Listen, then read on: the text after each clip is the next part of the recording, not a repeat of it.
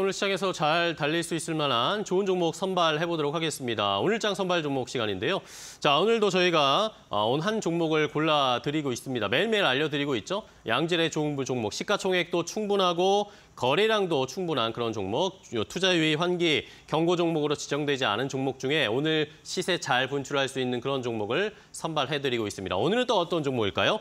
자, 오늘은 SK증권 2000지점의 서영원 차장과 함께 종목 골라보도록 하겠습니다. 안녕하세요, 차장님. 네, 안녕하세요. 네, 반갑습니다. 자, 오늘 시장 뭐 전반적으로 상승 탄력이 많이 나오고 있는데 여러 종목들 상승하고 있습니다. 이 중에서 어떤 종목 좀 볼까요? 네, 제가 오늘 관심 있게 보고 있는 종목은 셀트리온입니다. 셀트리온이요. 자, 셀트리온 최근에 어쨌든 좀 지지부진하고 박스권에 갇혀 있는 모습인데 추가적으로 상승할 수 있는 모멘텀 뭐가 있을까요? 네, 우선 셀트리온 같은 경우에는 일단 하반기 실적에 대한 기대감이 높다라고 좀 볼 수 있겠고요. 뭐 진펜트라의 미국 매출 증가가 상당히 좋습니다. 그리고 진펜트라의 장점이라고 한다라면 마진이 상당히 높다라는 건데 최근 처방이 좀 늘어나고 있다라는 점에서 하반기 실적에 직접적으로 좀 반영이 될 수도 있을 것으로 좀 예상을 하고 있는 상황이고요. 어, 셀트리온이 지금 인천 송도에다가 3공장에 대한 건설이 좀 진행되고 있는데 어, 최종 단계에 돌입을 하면서 좀 최종 점검에 들어갔고 12월 달부터는 가동이 될 것이다라는 얘기까지 현재 좀 나오고 있는 상황입니다. 어, 그런 상황 속에서 최근 바이오 업종들이 최근 바닥권에서 좀 되돌림 현상들이 좀 나타나주고 있고 어, 코스닥의 주도주로서 좀 잡혀가는 모습들을 좀 보이고 있는데요. 어, 그런 상황 속에서 셀트리온 역시 좀 뭐 코스닥 종목은 아니지만 그래도 좀 바이오 종목들의 상승 기대감이 함께 좀 반영될 수 있다라고 좀 판단을 하고 있고요.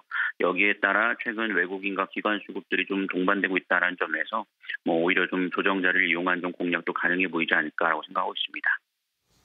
네, 알겠습니다. 셀트리온은 결국에 실적 발표 한번 기대를 해볼 실적 모멘텀을 한번 기대해봐야 되겠는데 자 오늘 일단은 셀트리온이 약보합권 수준 주가가 약간 지지부진한 모습이고 전반적으로 20만 원 돌파를 최근에 어, 연초부터 계속 실패하고 있는 상황입니다. 가격 전략을 어떻게 잡아야 될지 좀 고민인데요. 네, 우선 전일 강세를 보였기 때문에 오늘 좀 거래량을 동반한 그러니까 동반 좀 줄이 줄어들면서 조정을 좀 보이고 있는데 오히려 뭐 19만 5천 19만 3,500원 이하권에서는 어, 충분히 좀 현재가도 좀 메리트가 있다라고 좀 볼 수 있겠고요.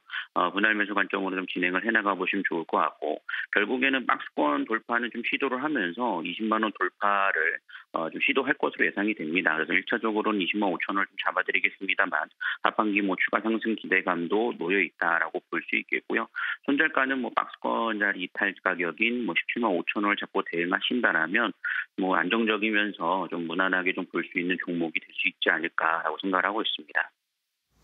네, 알겠습니다. 자, 셀트리온 20만 원 돌파 한번 기대해 보면서 투자 전략 세워보도록 하겠습니다. 오늘 좋은 종목 알려주셔서 감사하고요. 다음 시간에 또 뵙겠습니다. 고맙습니다. 네, 감사합니다.